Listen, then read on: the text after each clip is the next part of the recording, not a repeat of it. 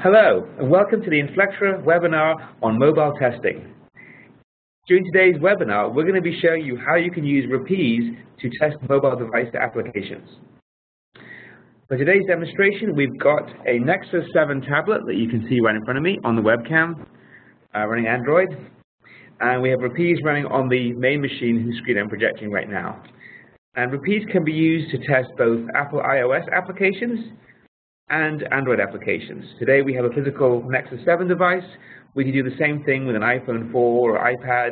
We can also do the same thing with a simulated device, a simulated uh, Apple device using the Xcode simulator or the Android Virtual Device Manager.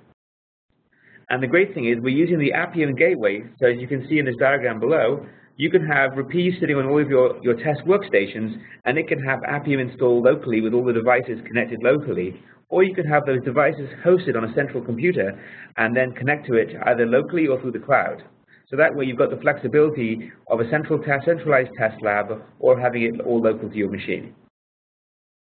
So during today's webinar, what I'm going to do is show you how you can connect to the device, how you can record a simple test and play it back, and also how it saves into our SpiraTeam test management system. So what I've done ahead of time is I've set up um, the the um, Android tablet is connected through USB to my laptop, but it could be on another machine. And I've installed the Appium Gateway, which is running right here. I just hit the play button, and Appium is now running. And next what I'll do is start up Rapise, which I've got running. And I'm going to be saving my test into SpiraTest. And so the first thing I want to do is just go to the options window, go to tools, go to Spira connection settings, and make sure that I'm connected to Spira. I can hit the test button to verify the connection. That's good. And then for mobile testing, I want to go to mobile settings and test my devices. And now the thing is, we have support for different types of device. And the nice feature is you can maintain a list of different devices as different profiles, and you can share them with your team members. So that way, if you have a set of devices that you will be testing on, you can build these different profiles, and they can store the different properties of the, of the device being tested. For an Android device, it typically will include the operating system, the operating system version, if it's a physical device, the device ID, and also the location of the app you'll be deploying. And one of the nice features of Rapise is it will actually deploy the application from your local machine onto the device centrally for you. For an iOS device, it's identical. Let me choose our iPhone 4, and you'll see here we're connecting to an Apple Mac PC that's hosting Appium and the device, and it's going to transfer the application from that machine onto the onto the uh, the phone. In this case, it's an iPhone 4. And also we specify the iOS device, the platform version of iOS, and then if it's a physical device, you also need the UDID. The one additional thing you'll need to do with Apple iOS is have an Apple developer account and have those profile those, those devices linked to your Apple profile. But apart from that, it's the same for both types of device. So once you set those up correctly, you can now go into Rapise, and you'll choose File, create new test, and we'll choose, we choose a demo project in this case. You would choose hopefully a real project. We'll choose a folder that we already have, but you could create a new folder as well. And we'll choose new test case, and we're going to call it Android Test 1. Hit OK. And if you're familiar with using Rapise for web testing or desktop application testing, these steps will be familiar to you. And in fact, we'll be doing a webinar on those topics uh, later on this month. But for right now, what we'll do is choose the mobile profile, and that's really important for a mobile test. For web tests or desktop applications, you can leave it as the default. And now what we'll do is hit Create from Spira, and we choose the device profile. But don't worry, you can always change it later if you want to change the device, so it's not a problem. But right now, we'll choose the Android Nexus 7, which is the one on the webcam, hit OK, and it's going to create my test. Excellent. Now what I can do is begin testing. And there are two things I want to typically do. At the very beginning, before actually recording a test, I want to verify the connection and make sure that Rapise is able to inspect the application. So you make sure you choose from the Spy tool, Mobile Spy, click the button. Okay, choose your device, and then hit Get Snapshot. When we do that, you will notice on the webcam, right in front of me, you'll see the application launch.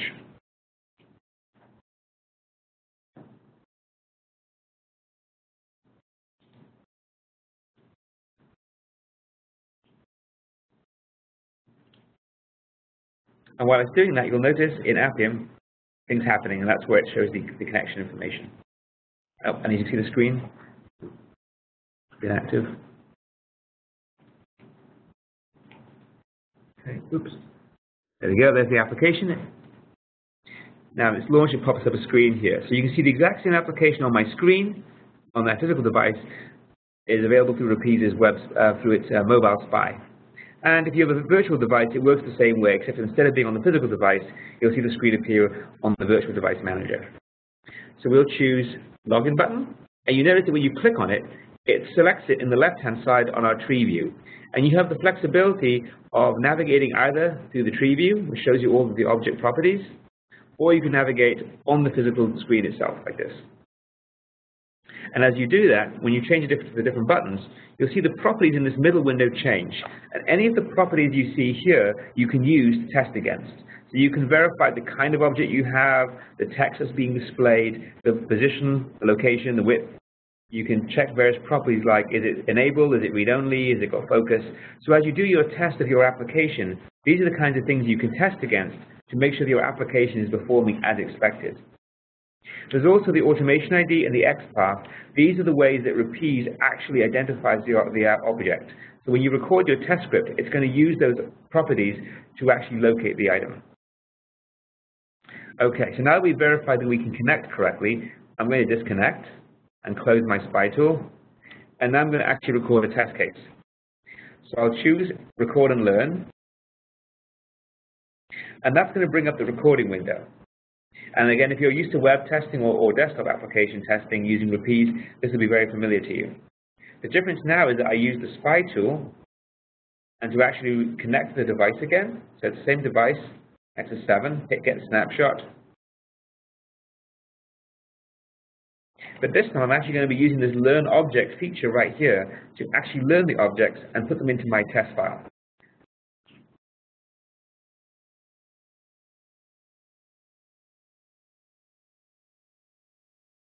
It's connecting right now. And you see on the screen it's changed to the application.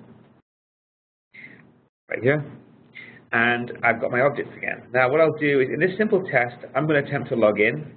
So I'll choose the login button and I'm going to learn that. And you'll notice as I learn things, they appear in this grid underneath, right here. Then I click on the actual device, login, to move to the next screen. And I hit get snapshot to update my screen. And I'll now get the next page. And I'm going to go into here and I'm going to type on the device a login and password. You'll see me do it on the webcam.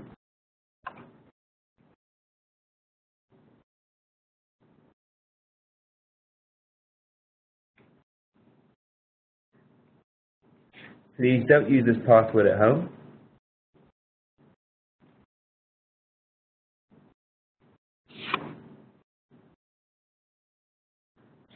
So you can see there, I've done that. Now, what I can do is learn those objects. I want to learn the username. I want to learn the password and the login button. So I'll learn all of those. And I also want to learn the result fields. So what I'll do is I'll refresh my snapshot, so that's now displayed. I can learn the result field. Learn. Great. And now I want to go back to the home page, so I want to learn that as well. So I hit get snapshot. Oh, sorry, I went learn. My mistake. Do it again. I want to hit learn. Great. So now I've learned the objects. Now I hit finish, and that's going to save those into my test script. So if I go back to here, you'll see the device, and you'll see I have the buttons, the text boxes, and everything. So what I want to do now is construct a test. And so the first stage would just be to simply play it back exactly as I did it. So what I'll do is first we're going to go to here and we're going to click on the login, which is called text1. We can rename these objects if you wish, so text1 is not very meaningful. In a real situation, you'd probably want to rename that you know, the login buttons. I'll just do do action. And after we so clicking on that, we're going to go to the login page and we're going to set a login. Now I want to set a different login than the one I typed in, so that's very easy. Can just do, uh, we'll log in as Fred. Okay. And then we're going to log in, we're going to set the password, and we'll set that as maybe a better password, uh, set text. And then you've got the drag and drop editor Rapise to set these in. So we'll log in as Fred, password, um, password 234. Also not a good password, so please don't use that one either at home. And now we'll hit the submit button, which is called Android widget button. And yet again, we can rename that to submit if you wish to make it more meaningful, or log in, whatever it is that makes sense to you. And then you can go drag that dot do action. And then lastly, we want to go back to the home page.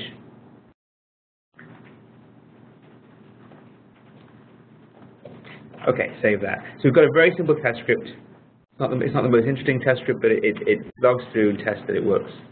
So let's go ahead and play that. So when I hit play, it's going to play that back against the device. And it, you won't see it on my screen, but you'll see it on the Nexus tablet. So I'm just going to move it back into view. And it should, if all works correctly, launch it on the device. And let me close my instant messenger.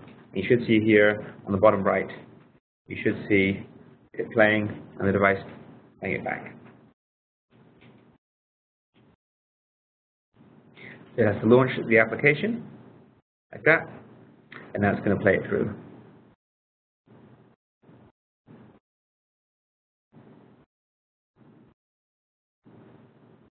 And you can see it's entering it in right now. Fred. And it's going to put in password 234.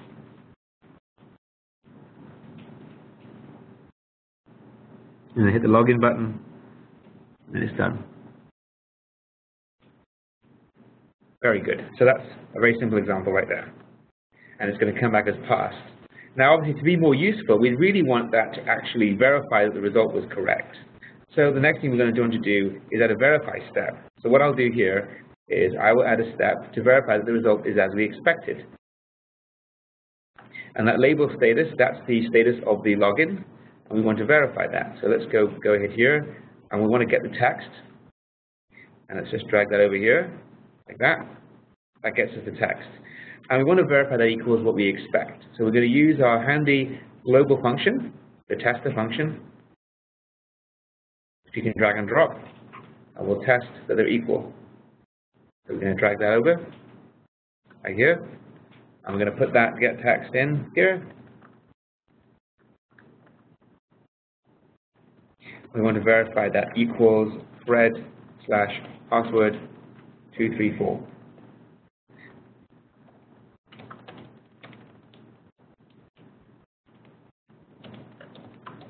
I'll save that. And before I run it, one more thing I want to do is I want to make this a bit more of a useful test case. I'm going to simply make this into a function to do the login. So what I can do for that, to show you those familiar with other forms of testing this will be familiar, there's basically a user file and that's where you put your custom functions. So we're going to extract this whole thing, and we're going to put it into the user file right here. And that becomes a scenario for us.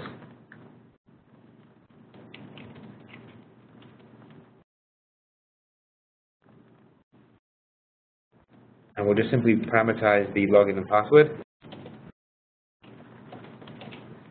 Put those here.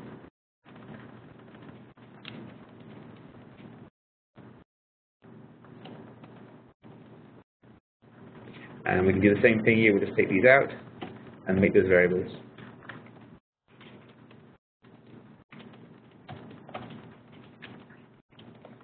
So in a real situation, this is kind of how it would look. You've got a function that does the login, and it passes the login and password, does the action, verifies the result, and uh, tests the answer. Oh, actually, this, this goes back to the home page, so we'll let me take that one out, that back in here. Okay, so now we need to call our function, and the nice thing with Rapise is once you've made a user function, it is available in the object tree along with everything else. So I can just grab login and I can just drag it right above the B, going back to the home page right here.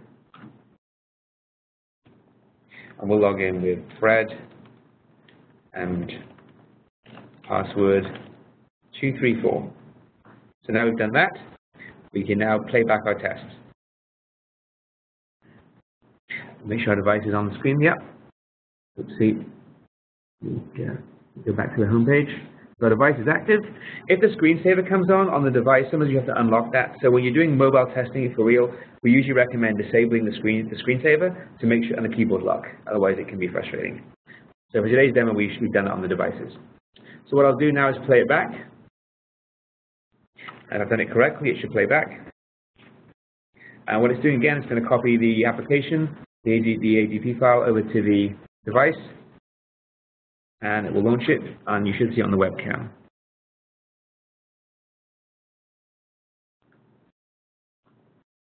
Meanwhile, on the playback screen in Rapise, you'll see the progress as it starts to play back.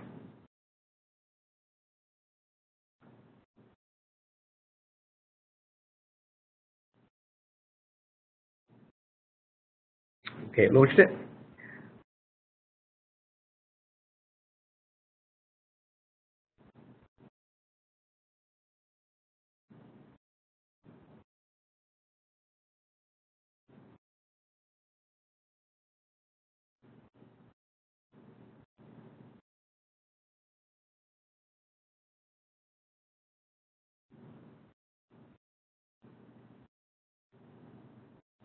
Perfect. And now we have a completed test case, but this time we actually verify the answer matches, which is great.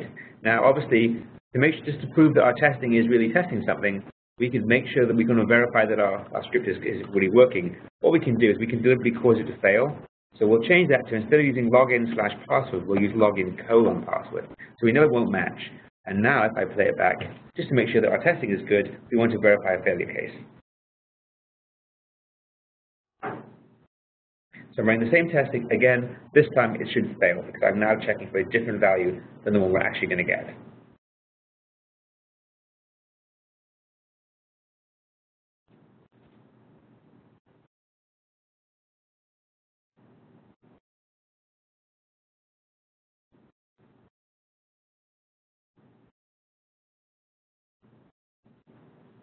And you can see on the screen it's playing it back, it's put Fred in, it's putting in the password, And it will hit the login button in just a second. There you go. And now it's going to check the value, and we know it's going to fail. Hopefully it will fail. Yes, it does. And so it failed, and it gives us the specific feedback.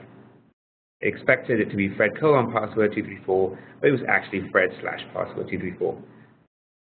So that's very good. So it works correctly, and it, and it verifies that it tests, it fails correctly when we deliberately made it fail. Okay, so we're done with our testing, and the last thing we would do is save to Spira, just so we have a record of our tests. So you hit save to Spira. It's going to create the repository folder. They create, upload the files. Okay. And you're done. So you've now completed a simple mobile test. And just to recap, what we did today is we connected to a mobile device. In this case, it was a physical Nexus 7 running Android. And we recorded some simple test case to look at a login page and automate it. We then made sure it worked through the spy tool to verify we can connect. We then wrote a very simple script following it through sequentially, and then we went back over our script and modified it to make it a reusable scenario. And then lastly, we modified the script to deliberately fail it, just to make sure that we actually are testing the device and it's not just passing blindly. And if you have any other questions about uh, mobile testing, please feel free to contact Inflectra Sales. We'd be more than happy to, to arrange a demo and answer any questions you have. Thanks very much for, today, for attending today's webinar, and we look forward to seeing you again at a future session on web testing, and load testing integration, and agile test management. Thank you.